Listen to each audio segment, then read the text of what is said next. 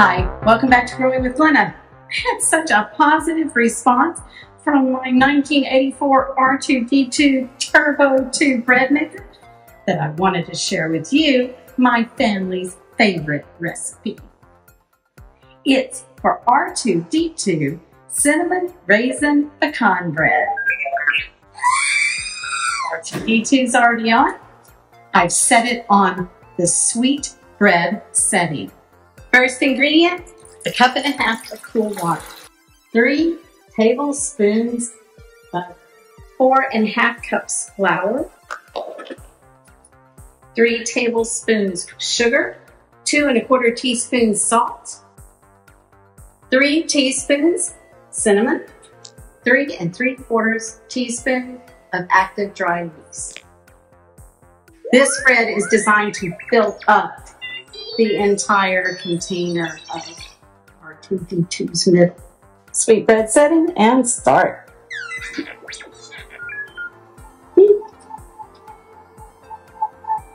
Making sure it incorporates into one dough ball.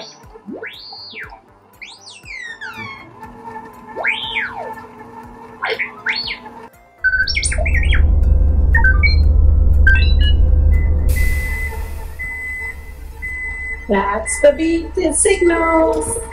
And fruit and nuts.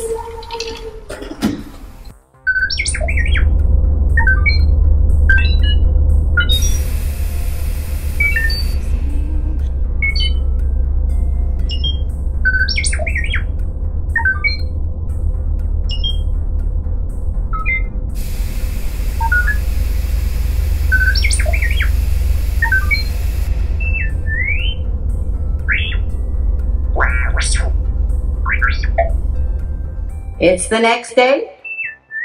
The bread has cooled off. R2D2's guts.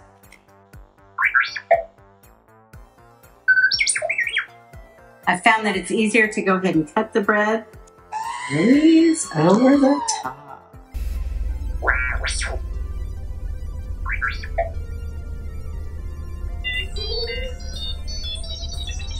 If you want your own R2D2 bread maker, which is the Turbo Baker 2, they're available on eBay for around 50 to $100. But this recipe will work with any bread maker. Please hit that like button and subscribe. Thanks for watching.